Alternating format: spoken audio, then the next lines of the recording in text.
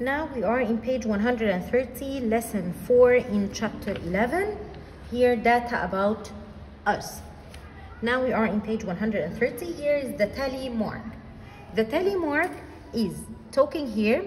Work with your teacher to collect data from your group and record it in the tables. We are going to do a survey about our favorite colors for the boys and the girls. For the black color, how many boys like the black color? Here is the tally mark. One, two, three, four, and the fifth one, cross them. Five, six. So how many for the boys? They are six. How many for the girls? One, two, three, four. The second one here, I have how many for the boys like white? Three. So I'm going to draw the tally. tally. One, two, three. How many for the girls? Five. One, two, three, four, five. Number, the red color. How many boys like red color? One, two, three, four. So I'm going to write total is four for the boys.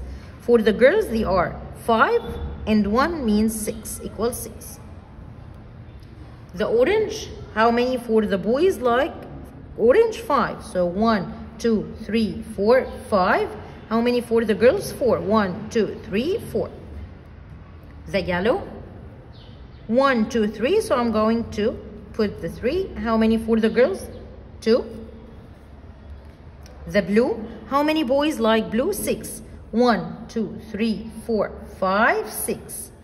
How many girls? Two. One, two.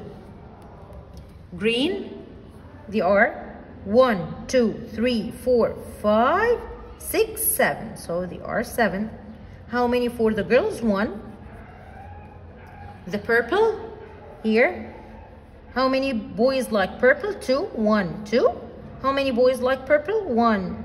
Girls. One, two, three, four, five. The last one, how many boys like pink color? Only one tally. And how many girls like pink color? Five and three equals eight.